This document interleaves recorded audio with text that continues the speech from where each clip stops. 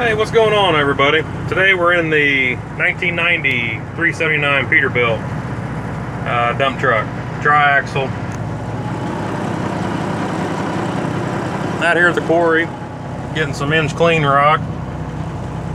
Getting ready to take it to a customer for a drain line. Uh, this truck has a 9LL transmission in it, made by Eaton. The way it works is you have your standard low and high. And then this this blue one is your is your low low button. So now you're just in low. You go to here forward now you're in low low. And there's a gate inside here that you cannot put it in high.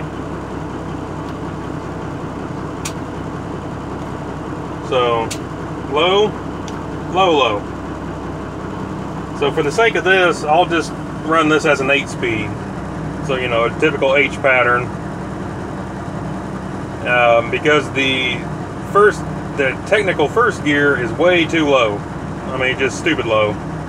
So I don't ever use it. Um, and then this transmission jumps in it for some reason. Um, so we're on a little bit of a hill. Uh, about 18, 18 and a half ton of rock on, I think. So we'll release the brake. Grab clutch, put it in. I'm gonna say I'm, I'm gonna call first. Release the clutch, a little bit of brake.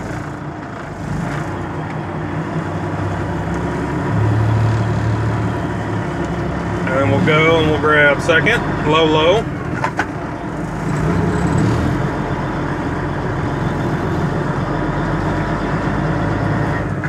And then we'll grab third, low, low. And see, right over a hole now.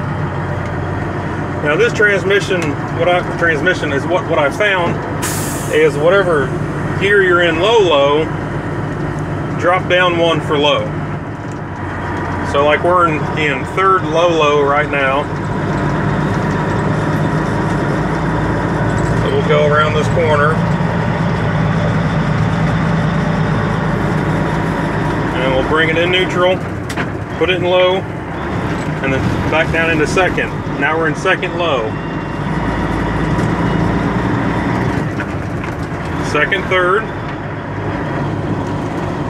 So it's a pretty nice transmission whenever you're in um, a lot of whenever you're in uh, you know soft dirt or hauling out uh, you know fill material on loose ground. Works out really really well.